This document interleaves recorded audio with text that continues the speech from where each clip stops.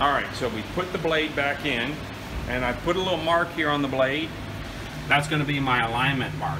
Now, the reason I do that, if you watch my blade alignment video, that's gonna be my locator for front to back.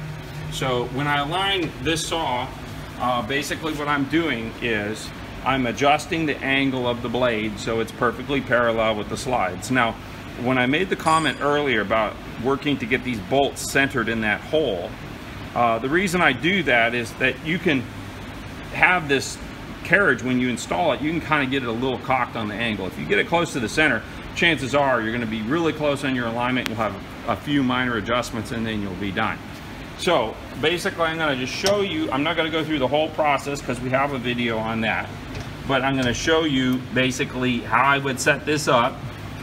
So I just hooked the magnetic base up and set it up here on this cross feed and then I can move my, I'm to move my, I'll get it where it's kind of a good position. Now, and I've zeroed. So now You'll notice I haven't put the feed screw in.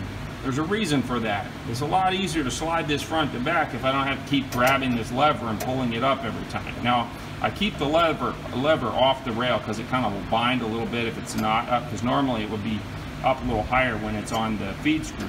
But now I can take this and uh, as I'm rotating my blade and sliding my carriage back, now I don't grab the carriage by the top because I will be able to move it a little bit if I'm grabbing just by the top.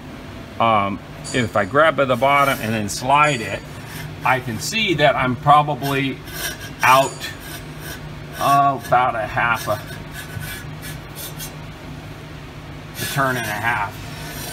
So as I come back and forth to my spot here, see where is it at? There it is. So as I see the indicator turning to the right, that's indicating to me that the blade is leaning this way because the blade is higher in the back. So on this machine, these two adjusting screws, I'll loosen up these bolts just a little bit, not a lot, just a little bit.